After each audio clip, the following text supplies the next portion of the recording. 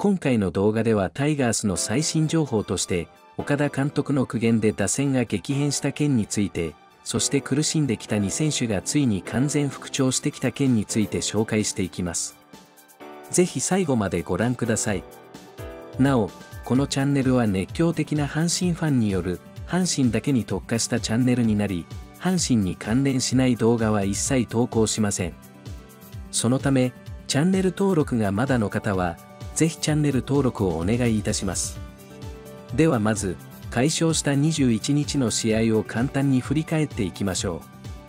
前日の試合では打線が爆発し、連敗を3でストップした岡田タイガース。岩崎選手以外の勝ちパターンを休ませることができ、なかなかヒットが出ていなかった木浪選手が今シーズン初の猛打賞を記録するなど、非常に収穫のある試合だったと思います。そしてこの解消の勢いそのままに、21日の試合も序盤からタイガースが主導権を握る展開となりました。先発の西行選手が初回にピンチを背負いながらも無失点に抑えると、初回から打線が爆発。中野選手のツーベースなどでツーアウト三塁のチャンスを作ると、佐藤輝明選手が初球のカーブを捉え、レフトフェンス直撃のタイムリーツーベースでタイガースが先制点を奪いました。中継のカメラアングルが独特すぎて一瞬どうなったか分かりませんでしたが、非常に良いバッティングだったと思います。そして続く大山選手が初球のスライダーを捉え、打った瞬間それと分かるホームランがレフトスタンドの中段へ。クリーンアップの2人が初球から積極的に仕掛けて3点を奪うという理想的な攻撃でした。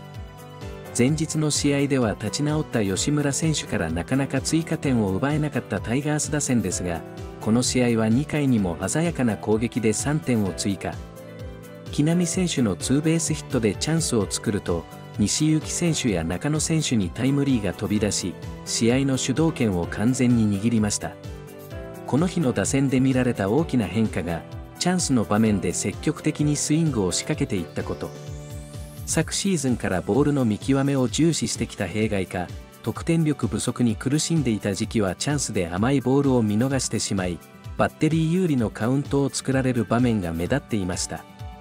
しかし、5点目までのタイムリーやホームランはいずれも初球を捉えたもの。チャンスの場面で初球から捉えられたということは、しっかり準備できていた証拠でしょう。佐藤輝明選手が先制タイムリーの談話で、初球から積極的にスイングした結果が良い結果につながったと思います、と語っていましたが、まさにその通りだったと思います。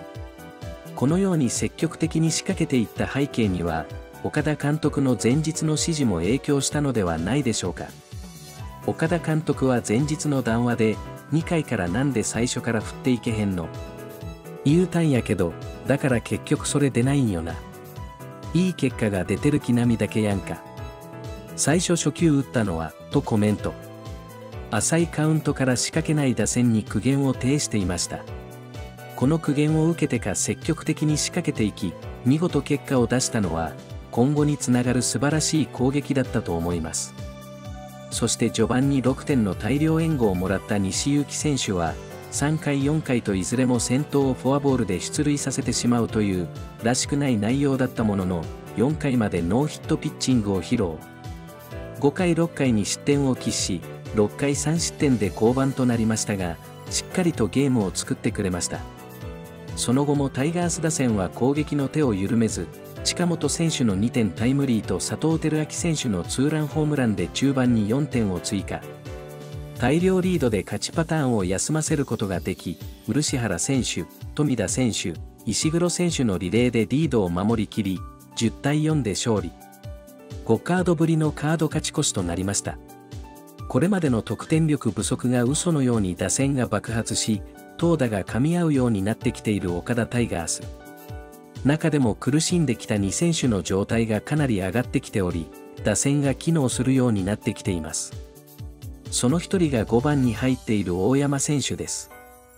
一時は打率2割を切るほどの不振に陥り、2軍降格も経験した大山選手。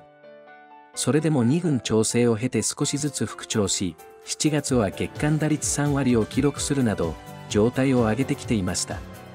勝負どころの8月9月での大爆発に期待されたものの、8月に入ると一気に成績が低迷。8月の前半は打率2割9厘に沈み、放った長打はわずかに2本と、明らかに状態を落としていました。しかし、ここに来て大山選手の状態が一気に上向きに。現在4試合連続複数安打と快音を連発し、ここ5試合は22打数10安打に本塁打6打点と、驚異的な活躍を見せています。21日の試合でも5打数2安打2打点と結果を残し、最終打席のセンターフライもフェンスギリギリの良い当たり。ボンダの内容も非常に良く、状態はかなり上がっていると見て良いでしょう。そして、大山選手以上に苦しんで北木波選手の状態も明らかに上がってきています。開幕から不振に苦しみ、6月15日には左肩甲骨の骨折で戦列を離れた木浪選手。代わってショートに入った小畑選手が肉離れで戦線離脱したこともあり、7月19日に再昇格を果たしました。ただ、この再昇格までに2軍で立った打席数はわずかに6。実戦感覚を取り戻せていない状態で昇格したのは明らかでした。その結果なかなかバッティングで結果を残せず、8月は月間打率1割8分5厘と低迷。極度の不振に厳しい声も上がっていましたが、復帰までのプロセスを考えると仕方のない結果だったと思います。8月も苦しいバッティングが続いていましたが、ここに来て状態が一気に上向きに。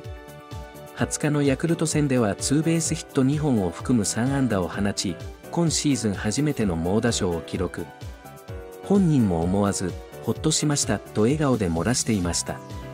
そして、続く21日の試合でも快音を連発。4打数2安打と結果を残し、今シーズン初めて2試合連続の複数安打となりました。第4打席はセンターに抜けたあたりで大山選手が走塁ミスをしてしまい、記録はセンターゴロとなりましたが、この打席も含めて非常に内容が良く、明日以降も非常に期待が持てます。ここに来て木浪選手の状態が上がってきており、1番の近本選手も4試合連続複数安打と絶好調。いずれも得点圏打率が3割を超えているクリーンアップにチャンスを作って回すという攻撃が徐々にできるようになってきています。この勢いをそのままに3連勝を飾り、リーグトップのチーム防御率を誇る広島投手陣も攻略してほしいですね。広島とのゲーム差が4に縮まっており、23日からの3連戦の結果次第では逆転優勝の機運も高まっていくはず。門別選手や高橋選手といった先発陣を援護してもらいましょう。今後の戦いからも目が離せません。今回の動画もご視聴いただき、ありがとうございます。